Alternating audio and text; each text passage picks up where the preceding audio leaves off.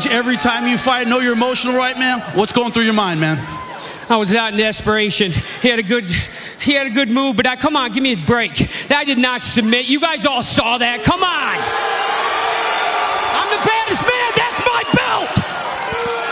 I know you want another chance at that belt. We will see you in the cage again soon, my man. Let's give it up for these two warriors, Joe Warren and the new champion, Marcos Galvao, ladies and gentlemen.